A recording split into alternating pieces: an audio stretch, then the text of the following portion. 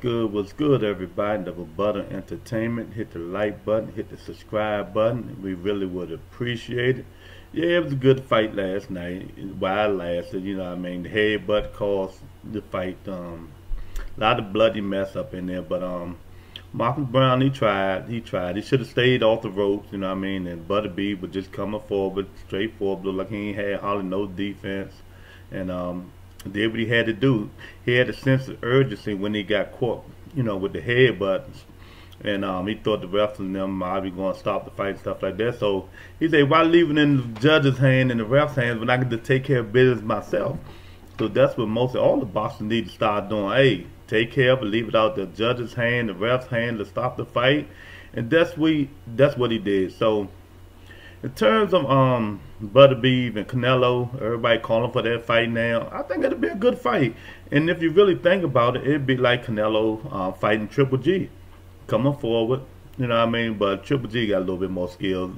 Beterbiev wasn't really jabbing until he got cut. He got some jabs and stuff like that. But to me, that fight would be like uh, Canelo versus Triple G, coming forward with each other. You know, banging and banging, and um, uh, Canelo moving around, he got better footwork, more head moving, better defense than Beterbiev do, and stuff like that. But hmm, I think it would be a dinger, you know what I mean? But you know, people gonna still call Canelo and say Canelo ain't doing what he's supposed to do. He ain't fighting these guys. Hey, Beterbiev would be a good fight for him because he'll be somebody right there in front of him, somebody who can throw just as well as take it.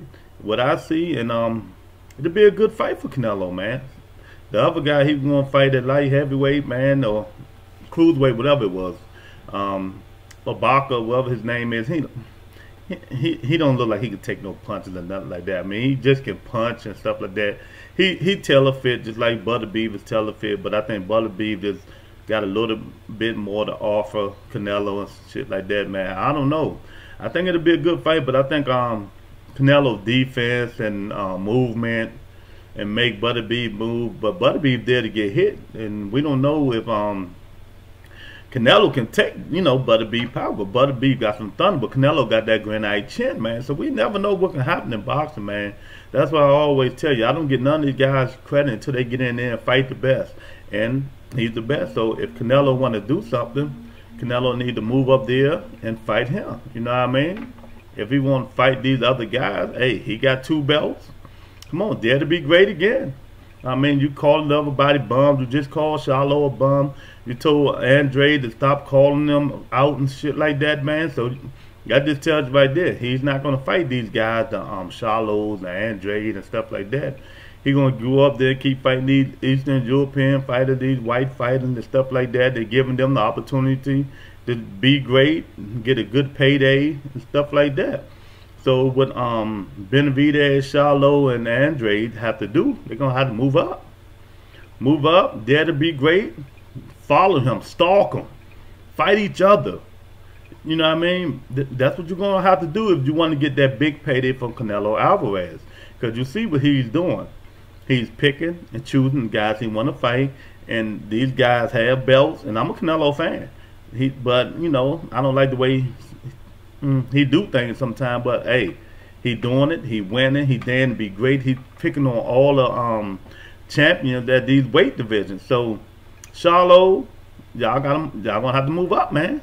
Stop calling his name out. Benavidez, I don't understand why the hell you fighting David Lemieux. You should have told WBC, man, y'all can get out of here with that. I, I ain't even know David Lemieux was still fighting.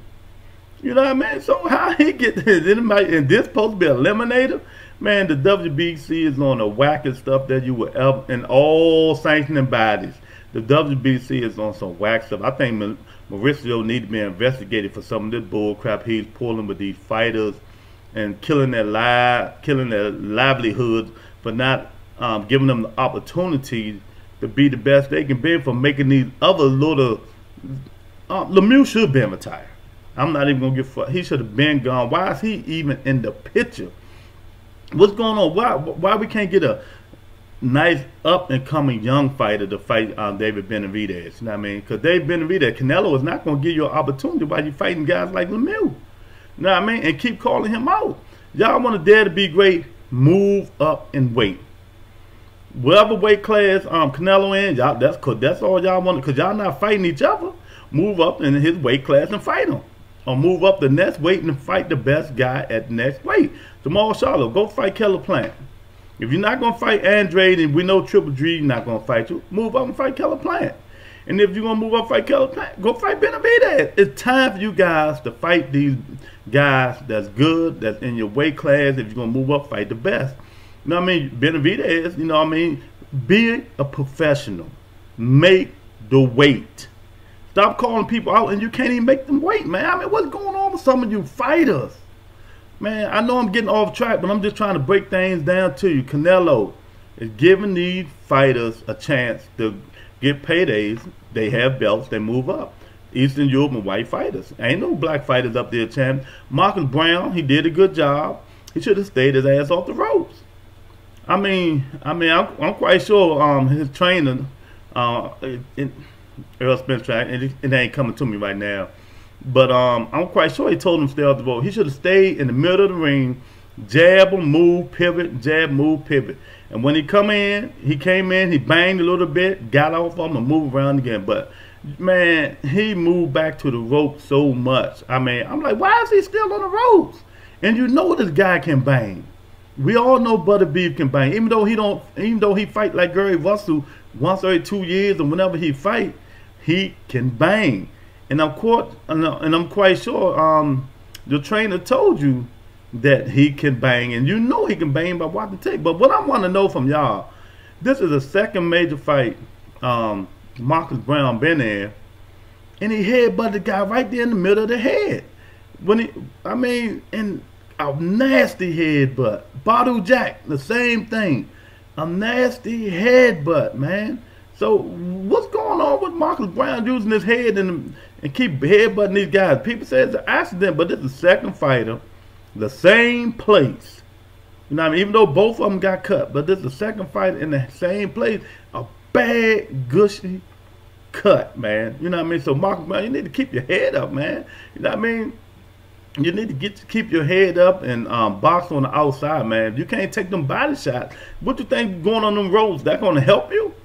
Come on, bro. I mean, you know, and the thing is, you guys killed me. Some of you guys, man, y'all pick these fights with your um heart, but not your brain. I hear see a lot of people talking about, um, yeah, they got Marcus Browne, Marcus, what, you got him because he's black? I mean, I understand that, but I don't do shit that way. I'm, you know what I mean? I'm roof. I wouldn't. I hope he win, but if you're going to bet, I'm talking about in terms of betting. If you're going to bet, bet on the, you know, the guy, the possibility that's going to win the fight. That's ninety percent chance Beterbiev is going to win that fight, and then you can um, put a parlay on um, Marcus Browne if you want to, man. But what's next for Beterbiev? Either Bivol, they calling each other out. Both they got the belts. It's time to make it happen. The best need to fight the best. If you're going to fight somebody, it needs to be Beterbiev and Bivol next. And if Canelo wants to step in and give one of them a payday, that's what it should be. So until these other little fighters like Charlo, Benavidez, and um, Andrade and them, they want to keep calling these guys out. You got to start fighting each other, champ. You got to start fighting each other. And they need to try somehow in some way to make these fight. There's no reason Charlo can't move up and fight ben, ben, uh, David Benavidez if he's not going to fight Andrade or Triple G. Now, I mean, enough is enough bullcrap, man. Get in there, fight the best fight, and then you might get that big payday y'all want. Because like Canelo said, you want payday. It's time to show people that you really want it and get in there and fight the best fighter. So, you know, that's my thoughts on it. Leave a comment in um, comment section. Rebuttal Entertainment hit the like button, hit the subscribe button. We only getting better. We only been at this for six, seven months now. You know what I mean? We don't do boxing all the time, but when we do it, we make it great. Talk to you guys later. Peace.